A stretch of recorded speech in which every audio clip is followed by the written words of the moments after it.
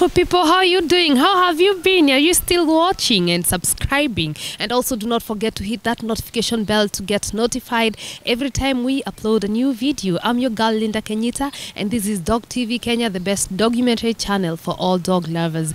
And today, I'm somewhere visiting this young gentleman. He's a first-time dog owner with several dogs. First time dog owner who's keeping rotis. Yes, of all the dog breeds a first time dog owner can keep.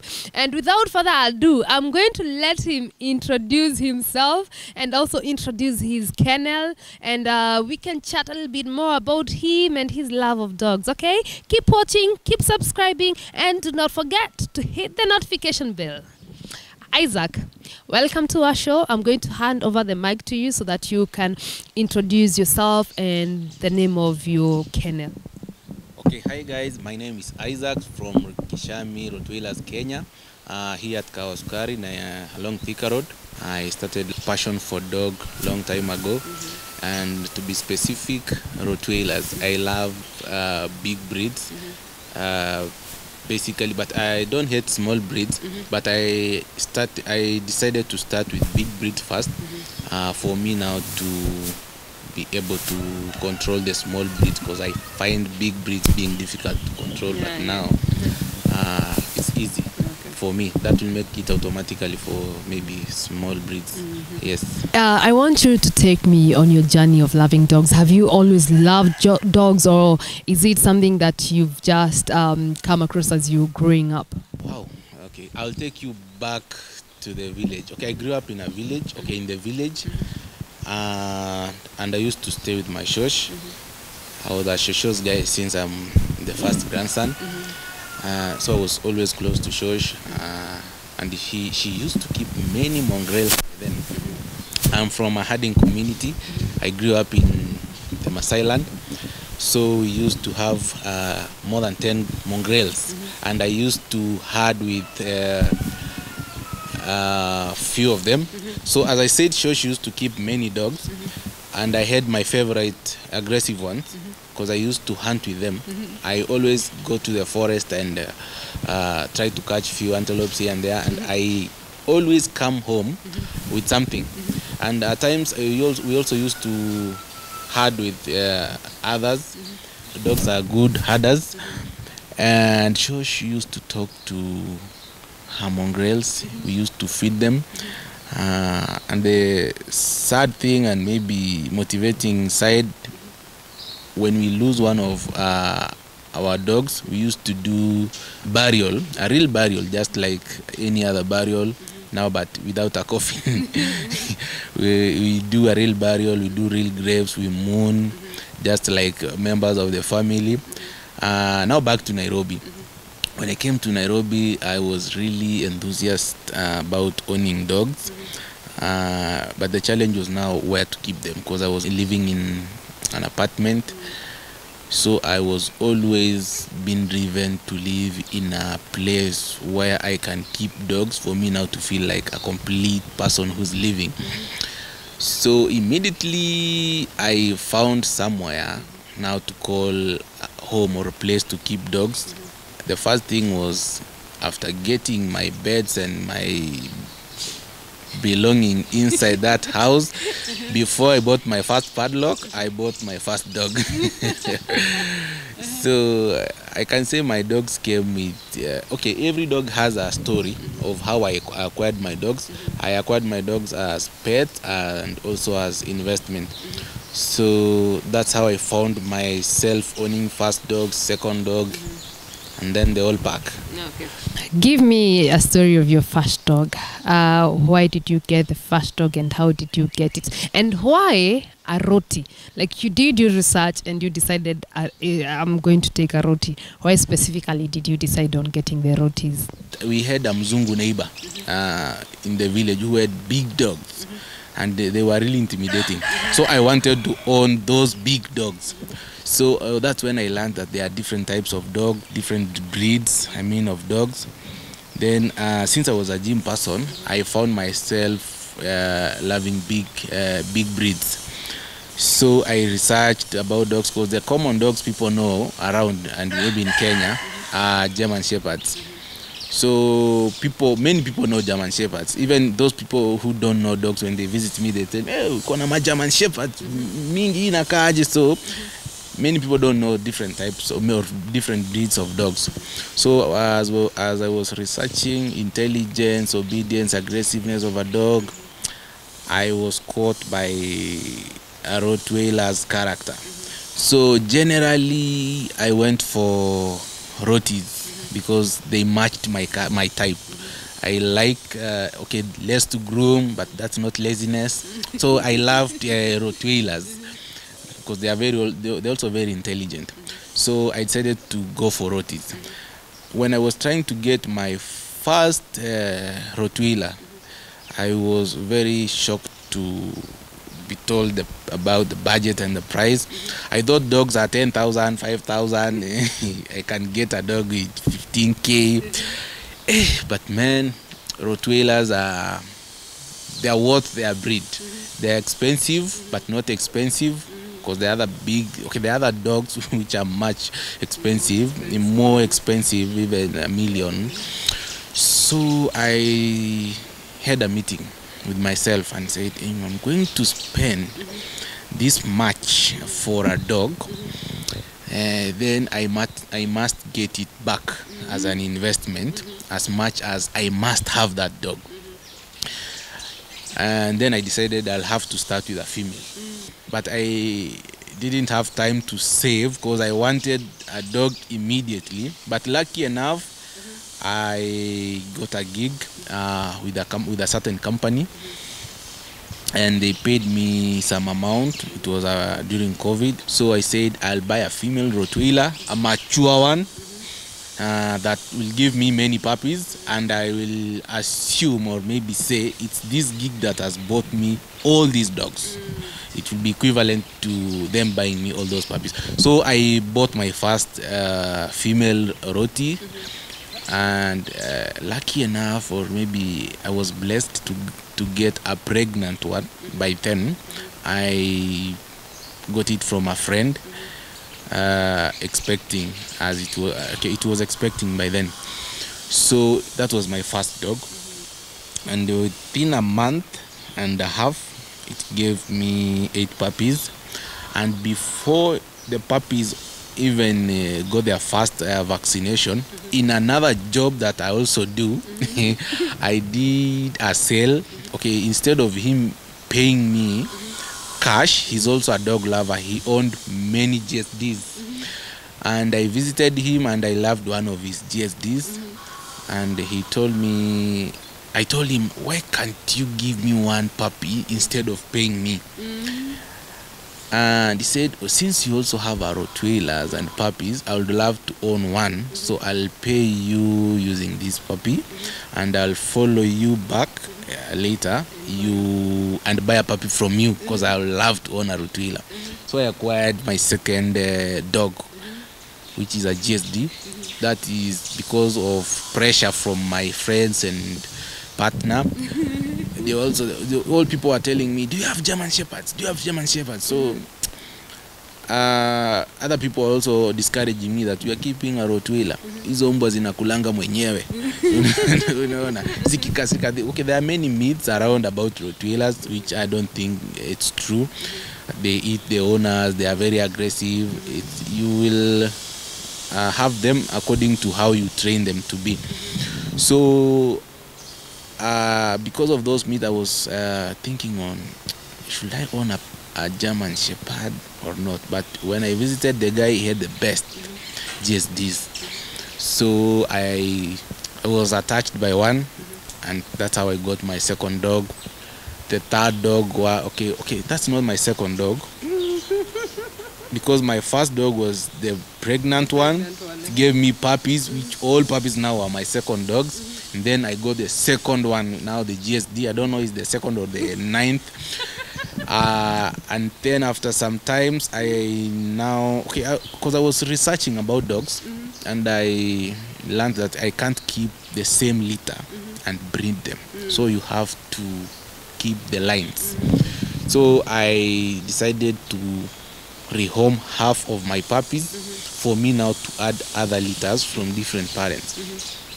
So I rehomed almost 4 where, where, while they were still young, and I got eight puppies from a neighbor who had a, a litter, and he- the, the, the neighbor was rehoming all of them. Mm-hmm. He was just a person in a neighbor here who doesn't breed. He mm-hmm. just want dog for security.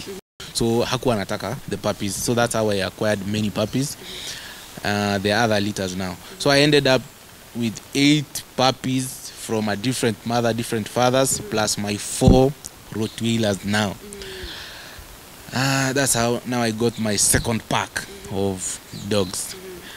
Uh, now I stay with those dogs for uh, around five months. Now I learned different traits and tricks and lessons with dogs. Every dog has different character, temperament. Like for for those for that litter, these they were docked. Uh, they are very aggressive temperament. They they are they have high temperament, destructive. They are real twelers now, energetic, playful. I had to buy toys every now and then. Balls they are no longer here kwa sababu zilikuwa they were destroying because I was buying light toys my shoes my clothes sugar canes around okay they were messy in short. Okay they were messy. So uh, people now started noticing me around. So everyone who wants to do away or rehome his dog uh, they used to look for me like do you want this uh, type of breed. And i also had uh, breeders whom i used to share feed with. So as i was sharing feed with uh, other breeders there is a friend of mine called sam around uh, around here he had uh, great danes and few other dogs. And I, I, okay when i visited him i got i saw i saw a big rottweiler there. There were two dogs a roti and a gsd which was a female a long coat just like my male one. So i said why can't i get both of them so that my long coat gsd which is a male uh, i'll have to breed it with uh, this female now so i told the guy i will not only take the roti but i'll rehome both so that's how i acquired my last uh, members the two gsds now Now, when you, you talked about food, what do you generally feed your dogs? Uh, because of my schedule, I have three diets. Uh, one is uh, okay because I have to cook for them uh, to maybe reduce worms and keep them healthy. So when I'm busy, uh, okay, I feed them dry food. That is when I'm not able to cook. That's the day they'll take dry food. Uh, when I'm around and maybe have time to cook, I do rice and beef, and sometimes uh, switch with chicken feet and chicken head. So I feed them chicken heads and chicken feet, and uh, change it with uh, dry food sometimes, and then beef and rice. Yes. But I'm also trying to uh, do them fruits and vegetables in between. Someday I give them bananas, cab- I, I add cabbages because they have to be balanced. Because also I learned that dog needs fruit and vegetables just as human being. I learned when the ma- mango season was or like was on. They are the ones who ate. I mean, almost all the mangoes. When I woke up, I found I, I always find every dog at her or his corner with a mango. So I used to collect mango peels every day. Yeah. Dogs do eat fruits. Um, in the village, during the avocado season, stray dogs never go hungry because they know at the farms there are avocados. So, in other words, when you hear people calling avocado magunagite, do you call avocados magunagite where you come from? Kwetu avocados zinaitwa magunagite because during the avocado seasons, dogs never go hungry. It doesn't matter whether they have homes or not. Now, let me ask you a question. Uh, one of the things that uh, usually people are usually afraid of it's health challenges that comes with dogs and maybe vet bills. So so far, for the time that you've kept dogs, have you had any health challenges? uh, lucky enough, I was able to research before I acquired my dogs. So I have a vet who is my neighbor and my friend, uh, whom I seek his advice. So first thing, uh, he told me that I have to get a good dog, well, fully vaccinated with um, vaccinated um, vaccination card. So I had to ensure that the dog that I'm getting is fully vaccinated, uh, well kept with somebody who is uh, a dog lover because you don't you not just get a good dog from anyone because people keep dogs as dogs but other keep dogs as part of the family. So you have to get your dog from somebody who value the dog. Uh, that will you'll be more assured that the dog is well kept uh, high immune so when i acquire my dog i make sure that it's healthy. Then from there i continue the journey so even if it's not uh, sick mm -hmm. i give my dog vitamins to build to uh, raise the immune system. So like mine i have to give them vitamins every two weeks. Okay those are things that you do regularly. Vitamins and deworming. Deworming after three months vitamins after every two weeks uh, just for immune system Isaac, one thing I'm noticing about your kennels it's that it's clean and there is no poop inside. And uh, you know, most of the time people are scared about poop and uh, smell. And here we are. These um, we do not have any smell. We do not have any poop in the kennels. Are your dogs potty trained, or how is it that we are in this, this clean, not so smelly situation? Okay, wha- what I can tell you and uh, what I can say about the myth uh, of uh, dog poop smelling and that, I will say dogs are not dirty. It's the people who keep dogs uh, make them dirty. Uh, about my kennels, it's how you train your dogs because dogs are very organized. They don't just mess anywhere unless if you allow them to do so or you corner them to do so. Uh, even the normal mongrels, you can't just find their poops everywhere you will find them at the common places. Because uh, dogs love to keep their territory. You will find them peeing in a certain corner. So for mine i, I potty trained the one that i, I started uh, breeding from my first dog my first puppies because now i don't lock my dogs in the kennel uh, the whole day. That means 24 7 because if you lock them now the whole day they'll have to poop in, in the kennel. But now if you lock them inside the kennel maybe during the day and let them out at night then you have to potty train them. That is to show them where to go to. And in most cases dogs love or like or prefer to go to the toilet or put their poops uh, seems to look bushy. So you have to have like a small garden somewhere or just a bushy area around your uh, around your compound. Then you train your dog.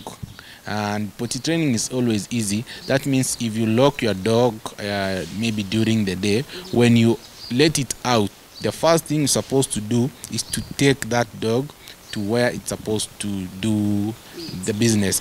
So so you take it to a corner, you stay there.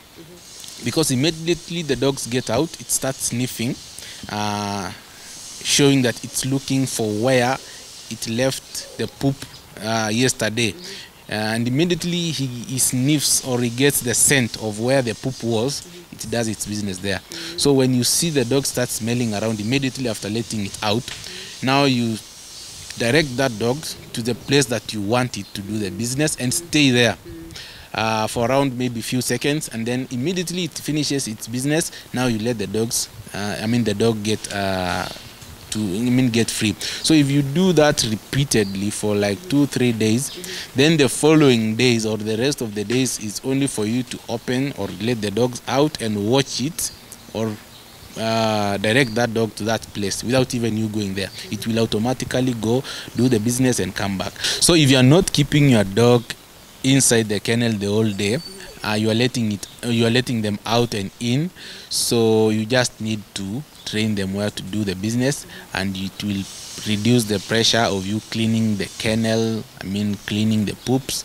You'll only clean the normal dirt, of which if you have a managed compound or maybe dust-free place, it will also reduce the pressure of you cleaning the dog frequently. Yes.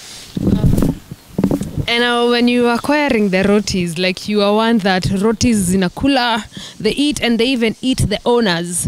How has your been your experience so far? Okay, people have different myths and and myths about Rottweilers, of which they say that Rottweilers are very aggressive, of which they are.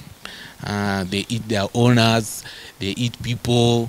Uh, but what I have noticed and learned is it's not that Rottweilers eat people or eat their owners. It's how you keep your dog. Every dog will eat anyone if it's wild. Uh, I mean, if it's kept wild. That is, if you just lock your door inside the kennel, throw the food inside, like you are keeping a wild animal. It's like a zoo. So you have to socialize that dog, train that dog to attack a threat, not to attack a threat. This is a friend. This is a pedestrian. This is your territory. So you have to train that dog, and dogs are very intelligent. They know what is a threat, what is not, who is a stranger, this is not a stranger, this is my owner, this is a friend. Like right now, you are all accepted here. They are quiet. They trust you because they have seen and they have learned that you are not a threat. But you can't get inside here without me. I don't have a padlock, but I know I know that no one will get inside here without me or as a threat and get away with uh, uh, with it. So dogs are not violent unless if you train them to be. Uh, naturally, they are aggressive, but what you need to do is control the aggressiveness, attack when necessary, not to attack anything. Uh, just to be controlling and uh, control your dog. But naturally, they are aggressive. But you have to teach them socialization. You have to socialize them. Mm-hmm. Yes. Okay. Parting shots, maybe albeit out of the experience that you've had so far, or and even just growing up, was you've had experience with dogs ever since you were a child. You grew up with dogs, and now here you are in your own home with dogs. Maybe a little bit of advice to dog lovers and people who are considering about acquiring dogs. What would you say? I will relate dogs with something like cars. You just don't acquire a dog because you love a dog. Dogs are very different. Uh, just like I can compare with, with cars, they are off-road cars, they are low-profile cars, they are big cars, they are small cars to go to every road. So same case to dogs. Uh, when you want a dog, ask yourself, what type of a dog do I want? To perform which task or to accomplish what? Do i do i need a pet? Do, do i need a security dog? Uh, what type of security? How explicit is my security? Because uh, for a german shepherd it's a guard dog. Uh, it's a security dog. Uh, it's an intelligent dog. But a rottweiler is also the same. It's a guard dog. But it's a hunting dog. So you have to know the traits. It's a hunting dog which means it hits. Uh, a hunter is not loud. A hunter is quiet to get the prey. But a guarding dog is to scare away a threat to be loud for you to wake up. It's like uh, a bell. So a german shepherd barks scare away it bites yes. But for a rottweiler is a hunting dog. It's a very powerful dog. So it it, it will it will love to catch that person rattle the person down tear uh, everything into pieces. Because a hunting dog is a quiet dog and it, it hits. It's very powerful. It's very aggressive. It's massive. It, uh, the, it, rottweilers has the powerful jaws. So if you live in a very scary neighborhood whereby your security is not only focused on maybe people it's also uh, insecure for maybe wild. If you're experiencing wild animals maybe the, uh, something like lions cheetahs then you have to keep the big breeds the powerful breeds the rottweilers the boerboels. Because these breeds are very powerful. They fight lions they fight cheetahs they fight strong uh, threats. But for german shepherds they are very aggressive also very intelligent. But you can't compare the power of a german shepherd to rottweilers they are not those muscular powerful breeds uh, but for a rottweiler just as, as I've said, you need to be controlling because for you to control the powerful uh, uh, dog like that, you have to control. Yes. Whoa. So do your research before you get any dog that you want so that we do not have to give bad reps to the animals and yet the owners are the ones who never did their research. Okay, people, stop hating on the animals. I'm your girl Linda Kenyita and I've been chilling out with Isaac and his beautiful family of rotis. See the way they are chilled out there, man, they are sleeping. hawana ha- ha- they are not disturbed by my yapping yapping around here Okay. Let me introduce you from this first end. I will start here. Now, this kennel, I have two friends. Uh, I locked them randomly, but coincidentally, this is my first dog and my last one. So, this is my first family member. She's called Lizzie. She's expecting now. Uh, she was my first roti ever. and then this is MJ. I acquired her. I can say I rescued her from a friend who abandoned abandoned her. She was uh, she had she, she had a good shape. Keep quiet. okay, I, I got her from a friend. And then here are my GSDs. Uh, due to due to public pressure, I had to acquire I had to acquire German Shepherds, of which I loved them uh, because uh, many people know about German Shepherds only. They don't know other breeds. Okay, German Shepherds are very common. So I got Spicy uh, from a friend again. She is uh, eight months old. She's a puppy. oh she's a puppy Yeah, she's a puppy, eight months old. And here is Bruno. Uh, Bruno was my second dog. Uh, he's a good guy. He's a good boy. I got him uh, at eight when he was eight months. And here is Coleman. Uh, this is the giant puppy from my other friend. I called him Coleman. Coleman is the biggest body. Okay, he's an American bodybuilder, eight times Mr. Olympia. So he's he's huge. And this is Samantha. Uh, Samantha is from another litter. Uh, hi samantha yeah, she is Lizzie's puppy. Uh, I told you this is Coleman. Coleman is from another litter somewhere. The second litter that I got uh, from my neighbor. Uh, he is from a high temperament family. He's very aggressive uh, compared to Samantha, who's very cool, social. Uh, I will keep okay. I'll rehome uh, Coleman tomorrow. Somebody has already convinced me. Uh, he loved the guy. He loved big breeds, and I'm giving him to a new home. Okay, I'll take him you to my bully guy, Jumia. As you can see, he, he is always bully. He's the biggest and foodie uh, fast puppy for from Lizzie. Jumia, Jumia. Come on, sit, sit down. Good boy. Okay, I named him Jumia because of the company that gave me the, the job. And here is uh, Amber. Amber. Uh, Amber is. Shh. Keep quiet. Uh, Amber is that lady who loves attention. Um, she's so attached. She's uh, more a pet than a security dog.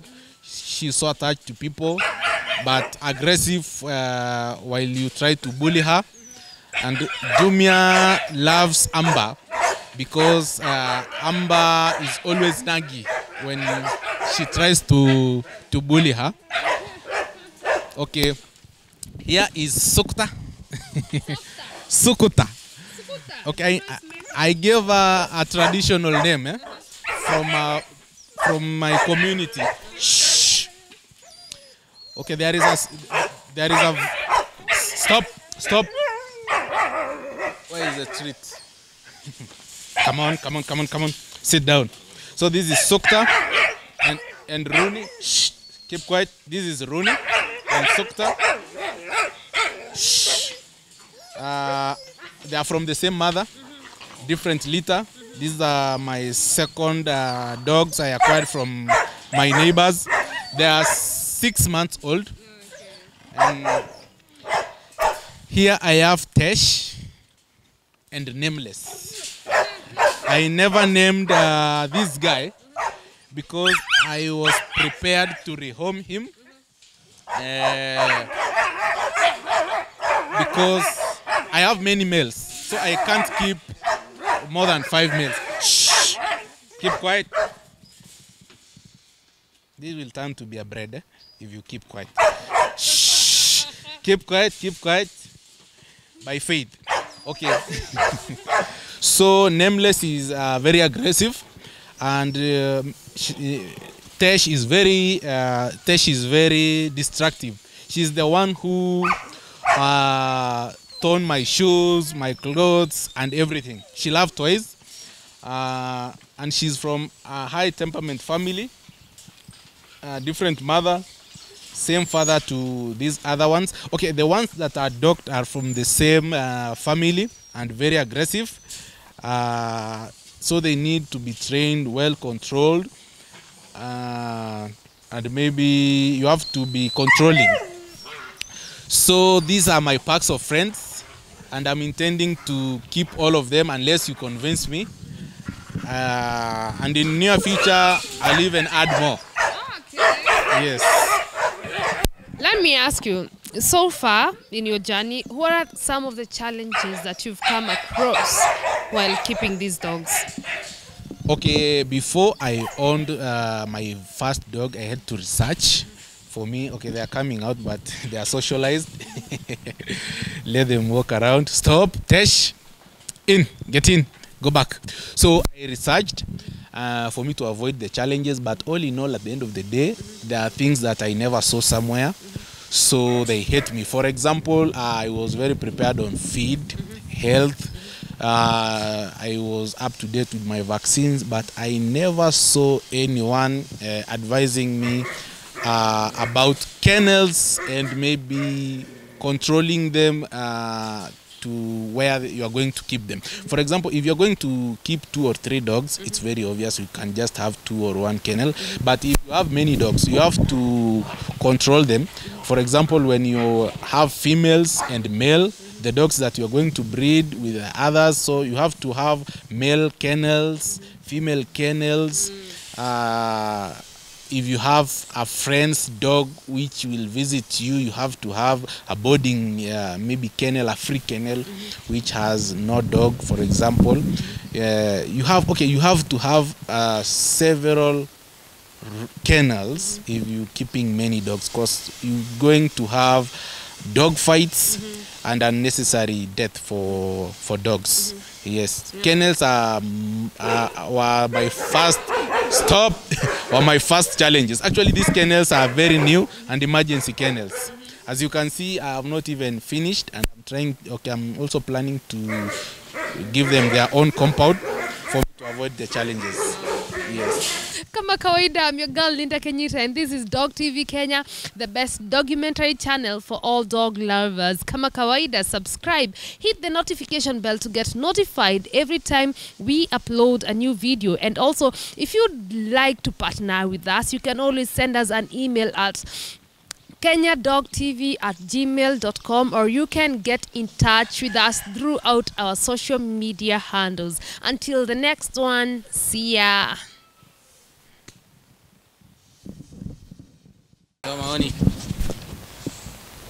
What do you have to say about your, your new visitors? Hmm?